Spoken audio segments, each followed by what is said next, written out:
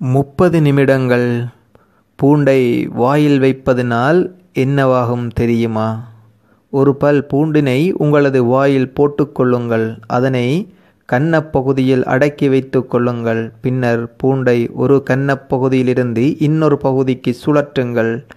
இதை காலையில் எழுந்து முதல் வேலையாக ஒரு முப்பது நிமிடம் செய்யுங்கள். பூண்டை நீங்கள் முப்பது நிமிடம் வாயில் வைத்திருக்க வேண்டியது அவசியம். நீங்கள் இவ்வாறு முப்பது நிமிடங்கள் வரை பூண்டை வாயில் வைத்திருப்பதனால் பூண்டின் மருத்துவ குணங்கள் மெதுவாக உங்களது உடலுக்குள் சென்றுவிடும்.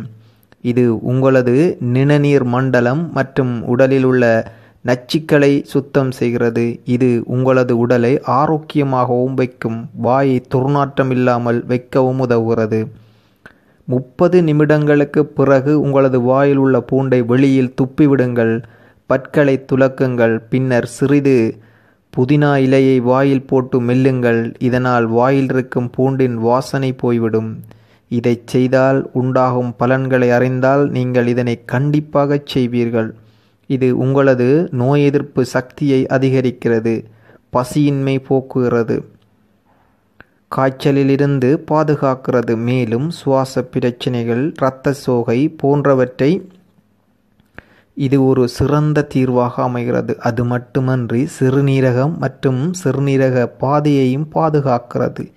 இது வறட்டு இருமலையும் குணப்படுத்தும். அது மட்டுமன்றி சிறுநீரகத்தில் கற்கள் வராமல் இது உங்களை பாதுகாக்கும். உங்களுக்கு பூண்டு சாப்பிடுவதனால் அலர்ச்சி ஏற்படுவதாக இருந்தால் இதை செய்யாதீர்கள் செய்யாதீர்கள். உங்களுக்கு வாய்ப்பொன்னிருந்தாலும் இதை செய்ய வேண்டாம். இந்த பிரச்சனைகள் இருக்கும்போது இதனை செய்தால் பிரச்சனை அதிகமாகும். அதனால் நீங்கள் உங்களது மருத்துவரின் ஆலோசனையை பெற்று செய்யுங்கள். இன்று நாங்கள் பார்த்த விடயம்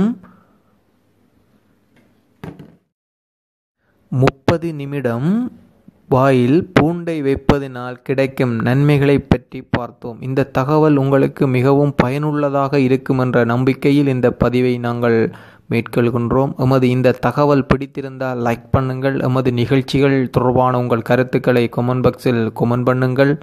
எங்கள் நிகழ்ச்சியோடு நீங்கள் தொடர்ந்தும் நாளாந்தம் இணைந்திருப்பதற்கு வெல்கம் தமிழ் டிவி சேனலை சப்ஸ்கிரைப் பண்ணுங்கள். நன்றி வணக்கம்.